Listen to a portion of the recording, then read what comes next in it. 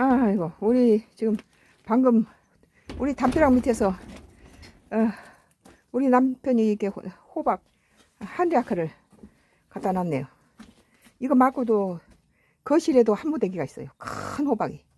이건 지금 방금 도로변에서 다 주워온 것들이에요. 우리 따온 것들이.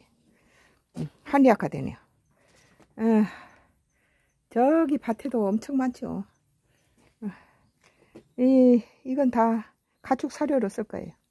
그리고 이제 어, 그 거실 또 들어간 입구에서도 엄청 많이 따다 놨어요.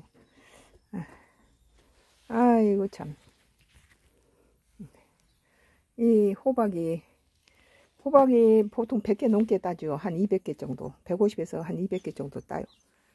어, 그래서 이제 겨울에 눈 오고 또 비 올 때는 호박하고 이렇게 고구마 순이나 당근, 고구마 그런 것들 먹여요. 우리는 사료 안 사 먹이고.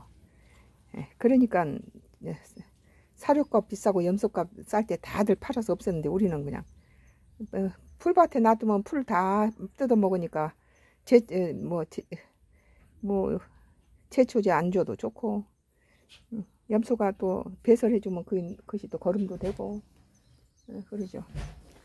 아이고, 저기, 저 나무에도 호박이 줄래줄래 열려있고, 단감을 좀 따야 되는데, 여기도 단감이 엄청 열려있어요. 예, 단감 보이죠? 단감이 엄청 열려있어요. 저 위에도 호박이 또 열려있네. 아이고. 호박 천지에 호박 천지.